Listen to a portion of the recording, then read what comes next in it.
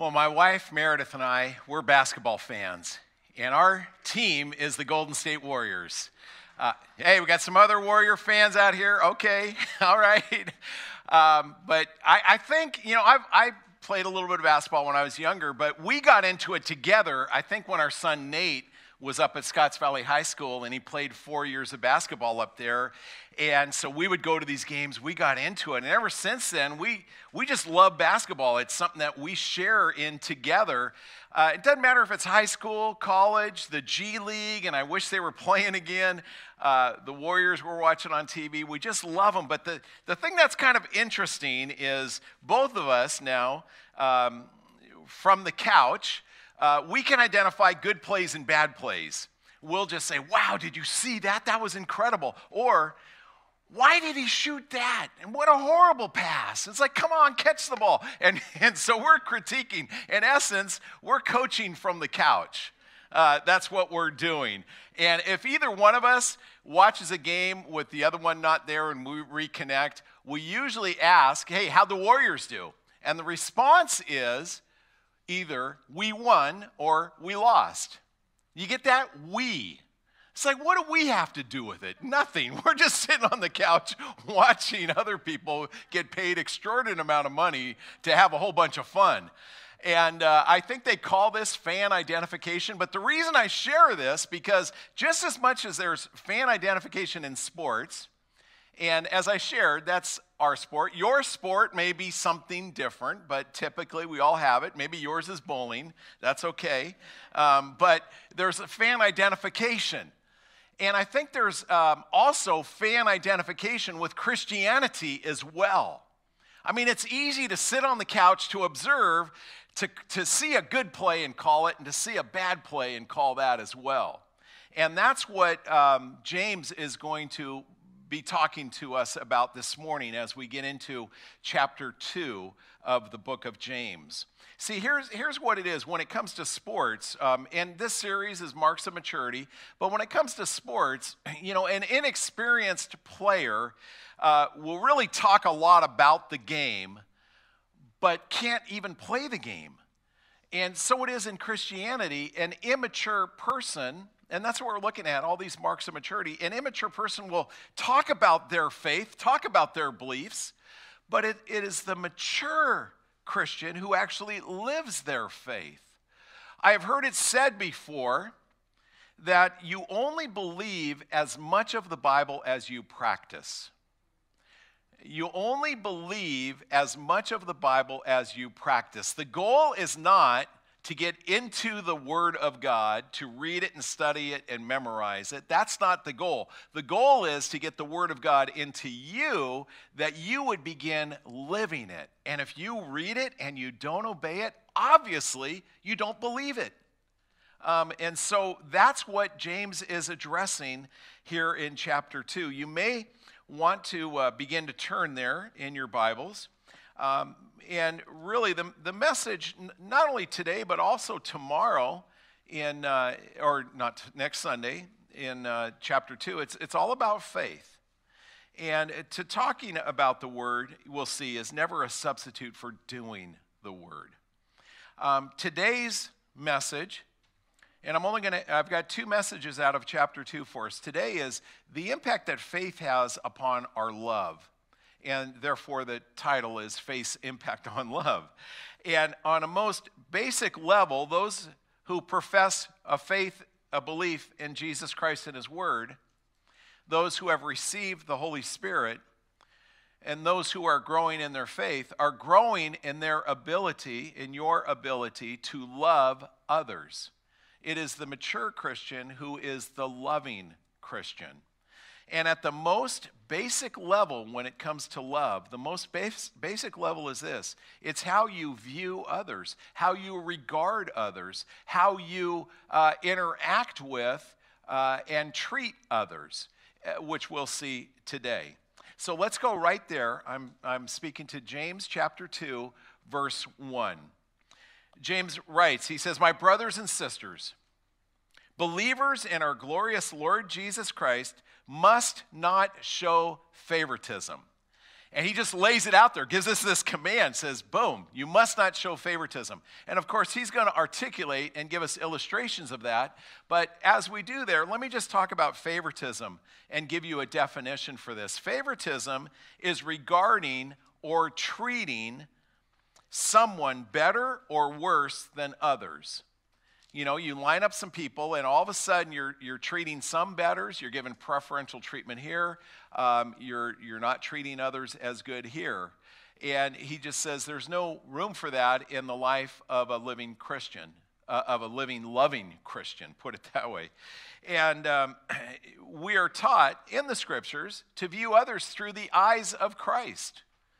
Um, we are to, if there's any sort of judgment to be made or any sort of discernment to be made. It is does this person know Jesus or not? Is this person a Christian or not? But regardless of the answer, there's room for love. If the person is a Christian, you accept them, you love them because Christ lives in them. If the person is not a Christian, you love them because Christ died for them. And that's what I think James wants the message to be is how do we view people? Because we can get caught up in all kinds of other filters in how we see people, but the, the filter for the mature Christian is through the eyes of love, through the eyes of Jesus. And, and that makes Christ the link between, and should be the link between you and everyone else. And that link is a linkage of love. And what James will say now, after getting this point across, he will give us an illustration. Let's look at this in verse 2. Suppose, okay, here's a hypothetical, hypothetical situation. Suppose a man comes into your meeting wearing a gold ring and fine clothes, and a poor man in filthy old clothes also comes in. Presumably, these are strangers. They walk in. And you, and you can see there's a stark contrast between the, between the two of them. And they walk into your, into your meeting, they come to you. Now, verse 3 if you show special attention to the man wearing fine clothing, in other words, if you give preferential treatment to the man wearing fine clothes and say, here's a good seat for you, but say to the poor man, you stand there or sit on the floor by my feet. The question is, have you not discriminated among yourselves, and discrimination leads you to become a judge and become judges with evil thoughts. Wow. So let me let me break that down. And, and I got hung up on this a little bit. It's like evil thoughts. And I got to thinking that perhaps, and I'm pretty sure this is what the author means. Uh, you may have a different interpretation, but this is what I see it as. An evil thought is a selfish thought. And just based on somebody's appearance, you're giving somebody this preferential treatment expecting something in return. Maybe this person can do something for me. This is a person that appears to have a lot of assets. This is a person that might be able to help me out. So let me go ahead and give preferential treatment to this person. Whereas this person here, obviously, this person has nothing to offer me. And so why should I invest in this person? Um, and the question I have for you that I think James has for you is do you cater to people? Do you cater to an impression of people thinking that you might get something out of it? The term that I've used in this in my life, do you suck up to people? You know, and James just says there's no room for that. If you're a brother or sister in the Lord and you're following Jesus, there is absolutely no room for this in your life that is indeed a mark of maturity. When you're at that place where you can regard all people as the same, that's a great indicator that you're, you're becoming more and more like Jesus Christ. See, here's what we know about Jesus is this is that Jesus never looked at the outward appearance. He always looked at the heart. Always. He never got caught up in the outward appearance.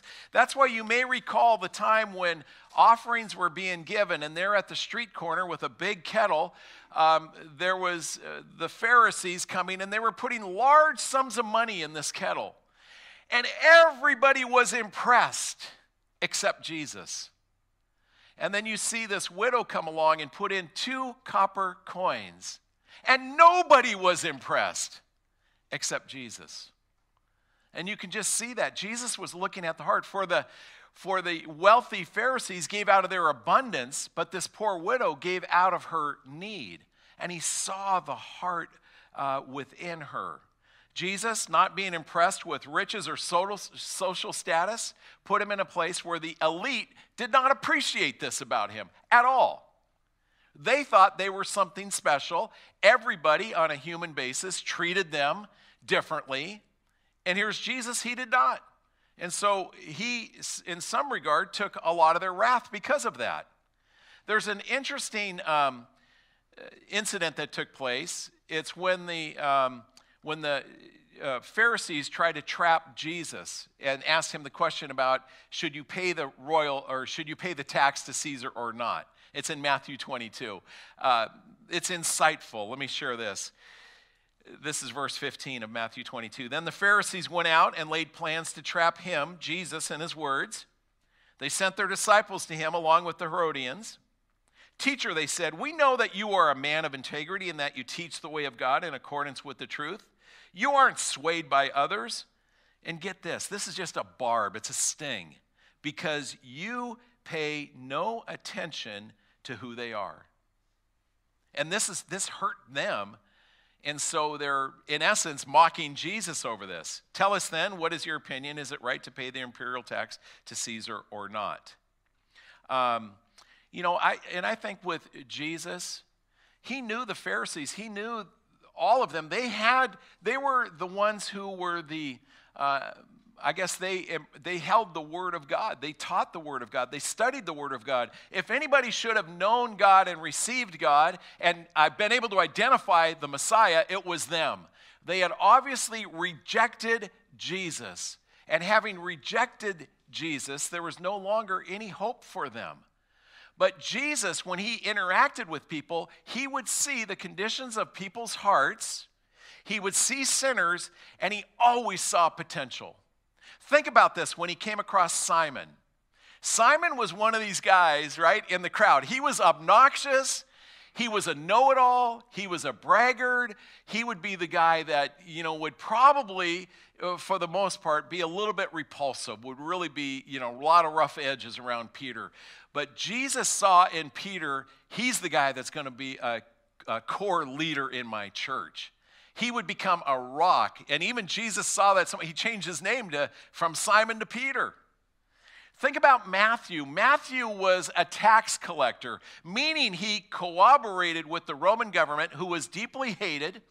They mistreated the Jews, and he abandoned his heritage and became partners with the Romans. He was hated by everybody, but Jesus saw him as one who would be very faithful, who would ultimately be the author of one of the Gospels. Think about in John chapter 4, the woman at the well in Sychar. This woman was an immoral lady, having to get her water at the hottest part of the day because um, she probably didn't want to be seen too much in public. And Jesus knew all about her past, but knew that throughout her life she's been she's had a void and she's tried to fill it again and again and again. And Jesus knew that if she were to only to receive him, his living water, he saw the potential in her as an evangelist, and sure enough, she led her whole village to the Lord. Jesus always saw that. The question comes out of this is are you prone to judge people by their past? Or by their potential. You know, the fine clothes, the shabby clothes coming in, you're going to see, okay, well, that person's past led them to this place. That person's past led them to there. Is that the judgment we make? No. Jesus always looked potential. He saw potential. He saw that people are lost and in need of a shepherd. He saw that people were wandering in need of, of guidance. He saw people's hearts that were rocks and needed to be turned into hearts of flesh. He saw all of this, and that's how he treated everybody. I got to tell you a story, and um, it's kind of a disgusting story, okay? Let me get that out there on the front end. It's disgusting, and you're going to agree. Yeah, that's disgusting.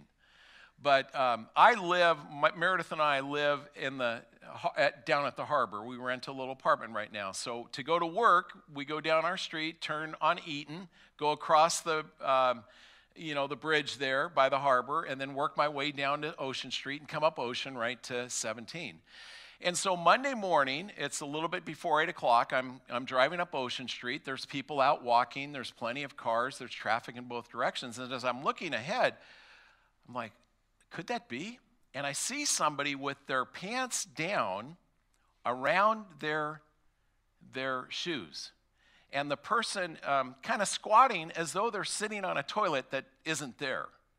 And as I get closer, I see it's a woman and I see her with a newspaper in her left hand wiping her bottom. I just thought, that's disgusting.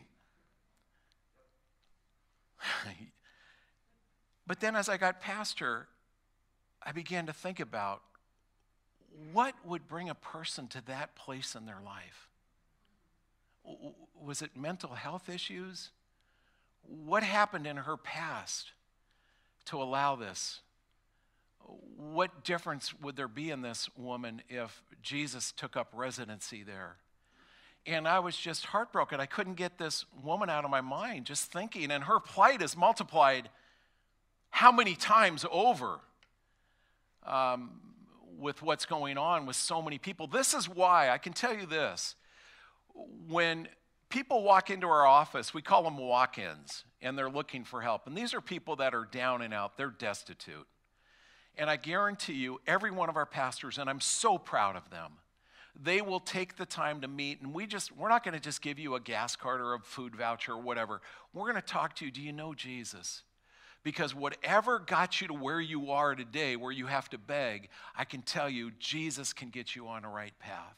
And so we continually share Jesus. It's why we do a food ministry here. If we can catch people before they get to that point and help them out, I think we're doing a great good. And I'm, i can tell you on behalf of all those who work in the food ministry, when people come through the line, there is no judgment. We see all people as being lovable, and we love all people. Um, think about Jesus. Jesus was judged by human standards and he was rejected. He didn't come from the right town. He came from Nazareth. And remember what the word about Nazareth? Can anything good come from Nazareth? I mean, he was labeled, he was judged. He didn't attend their rabbi schools, so he didn't get the right training. He was judged. He didn't have the official approval of all those in leadership, so he was judged. He had no wealth, so he was judged. And his followers were sinners. And I think Jesus looked through this, and I think this idea of favoritism really bothered him. So much so that his brother, James, takes this up and devotes half a chapter to it. And I've, I've just got to ask you do you not enjoy certain people because they're not your kind of people? Can I tell you this? For the mature Christian, there should be nobody that falls into the category, not your kind of people. Jesus died for them all. Jesus died for them all. And understand, it's not compromise that propels you to love somebody, it's compassion that propels you, just like it was with Jesus. That's why Jesus in John 7 24 said this Stop judging by mere appearances, but instead judge correctly. This is what James is trying to get across to us. Here, here's what I'd like to say the mature Christian is not overly impressed or easily intimidated by wealth or markers of social standing, such as attire, profession, or possessions. In other words, that's not how we're viewing the person. And I guess conversely, I don't have the blanks to fill in, in, but conversely, the mature Christian is not overly dismissive or easily put off by a lack of wealth or a lack of the markers of social standing, such as attire, prof- profession, or possessions.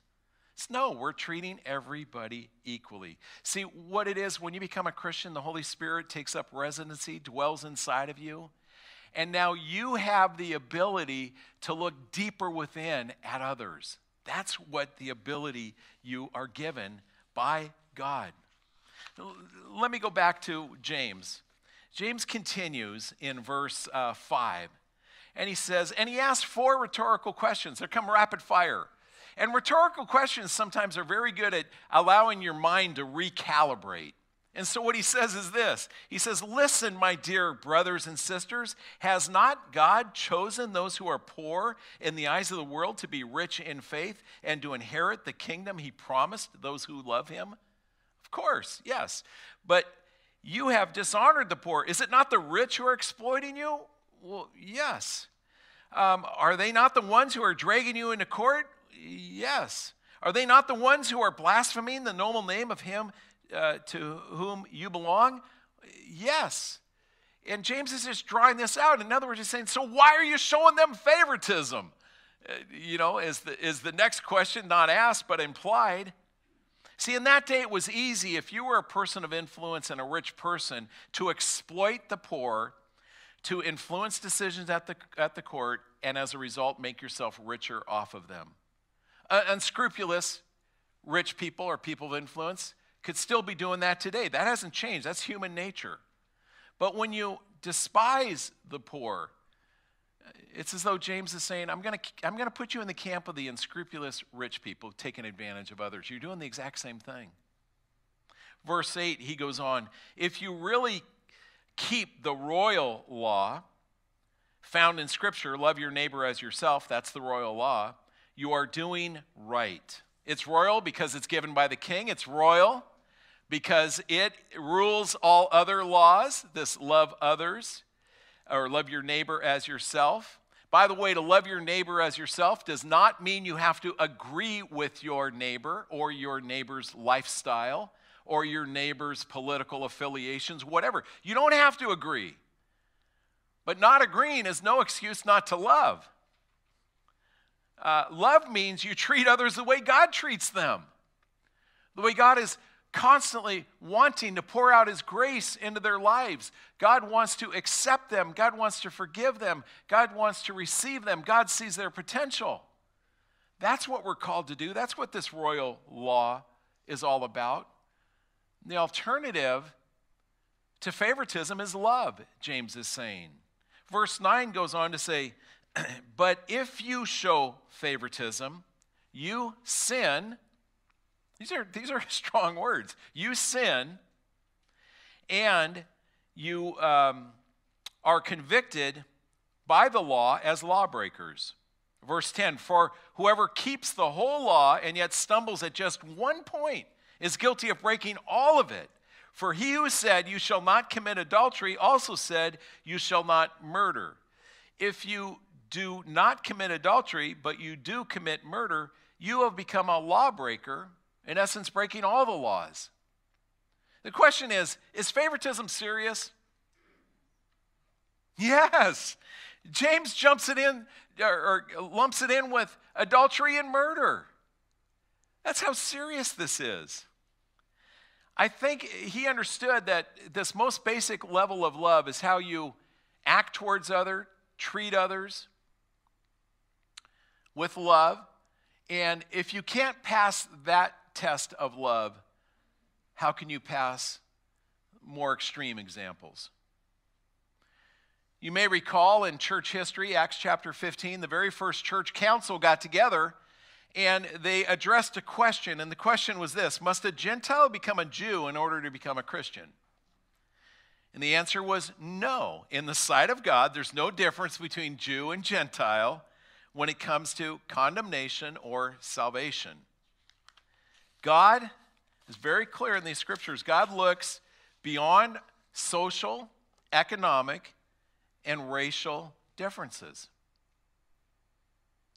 In Christ, masters and slaves are equal, rich and poor are equal, male and female are equal, Gentile and Jew are equal. That's how God views this. God just says, even in, in broad groupings of people, there is no favoritism. I would say this going back to verse 5 is the grace of God makes the rich man poor and it makes the poor man rich. Let me try to explain that because I think that's what James, James is, wants us to hear. Is the rich man is poor. Why? Because he can't rely on his money or her money to earn favor with God. he has got to, he's got to just say, no, all of that is set aside. Blessed are the poor in spirit, right? And so that's what the grace of God does. It makes the rich man poor. But the poor man is rich because he can't rely on his riches. All he's got is to lean on the grace of God. And that's what James wants us to understand as we interact with and view other people. Let me wrap this up, these last two verses. Verse 12 Speak and act. And those are key words. You may want to underline them or highlight them in your Bible somehow. Speak and act as, though who are, as those who are going to be judged by the law that gives freedom. Why? Because judgment without mercy will be shown to anyone who has not been merciful. And of course, when you're showing favoritism, you're judging without mercy. Mercy triumphs over judgment. Now, let me break out these two words speak and act. Speak, the point there is your words will be judged. What you say to people and how you say it will come up before God. Are your words equally full of grace no matter who it is you're talking to? Be it a homeless person, to somebody um, extremely famous and well off. Do you have words of grace to either one? Do you love each equally? See, words, this is what God knows. Word come from the heart. And when God judges, he's examining the heart. He's examining what's going on inside. I love what uh, Eugene Peterson wrote the Bible in uh, a translation called The Message. It took him 20 years of his life to do this, but the message in Matthew 12, 36 and 37 said this Let me tell you something.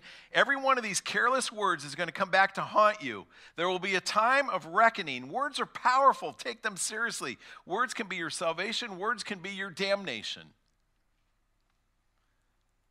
How's, how's your words towards others? And then this idea of act. Your actions will be judged. How you act towards another person, whether you're giving preferential treatment or not. James contrasted this, we saw, by showing mercy to others and refusing to show mercy to, to, to others as well. And he says that when you are treating people with mercy, um, there is a law that's involved, and it's the law of freedom that allows you to walk in liberty. Imagine this when you're freed up from all of the, the worldly norms or the worldly standards of how the world judges people. When you're free from that, you can just see into somebody's heart and you can see their potential. You can look beyond the outward appearance. There's a freedom in that. I love what the psalmist wrote in Psalm 119:45. He says, "I will walk about in freedom, for I have sought out your precepts." And the precept we're hammering this morning is favoritism, not showing favoritism. When you can learn to master that, when your faith is mature to do that, I guarantee you, you get a taste of freedom that you previously did not have. I guess the point is, as you mature in the faith, your beliefs should determine your behavior. Faith impacts love your faith impacts love. If you truly believe that Jesus is the Son of God, that God is gracious, His word is true, that one day He'll judge you, then your conduct should reveal your convictions. So, what James does here, he actually commands the brothers and sisters, he commands you to accept others consistently with courtesy and compassion. I can tell you this if you're one to, to look at the outward uh, appearances and get stuck there, you're like the person sitting on the couch making judgments and calling out the good plays and seeing the bad ones. And, uh, and James, James is your coach saying, Would you get up off that couch? Would you get up off that chair and get in the game and start loving impartially, loving with mercy, loving, looking at somebody's potential, not their past. That's the message of this first half of James, chapter 2. There's a lot there. And I would ask that you would allow that to really penetrate and soak in and allow it to, to change your perspective on other people, whoever they may be. Let's pray. Father God, I want to thank you for this message from James. And it's clear, Lord, that this was a big issue. It's a big issue back in that day, it's a big issue today. So much so that we see uh, a good uh, half of this chapter devoted to it, Lord. And I pray that you would help each of us to mature, that all that are hearing this message, God, that they would become more impartial in, in how they interact, speak with others, and act towards others. May our actions be full of grace and mercy and love. And God, we know that that would honor you. And that, God, I've, I've heard it said, I heard it said this week that there's actually five gospels the gospel of Matthew, of Mark, of Luke, and John, and then there's your gospel you. There's my gospel, the gospel that I show, because people are going to be reading me and people are going to read you. And when they read you by looking at your words and action, will they see grace and mercy and love? God, help us not to forget to, to live this, this own gospel that people are reading right from our own lifestyle. So, God, to you may be all the glory. I pray that this message will take root and make a difference in people's lives. I pray this in Jesus' name. All God's people said, Amen.